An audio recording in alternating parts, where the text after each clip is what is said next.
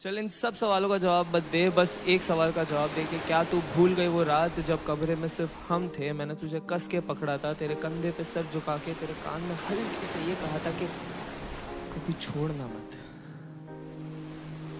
और तूने कहा था कभी नहीं। बोल।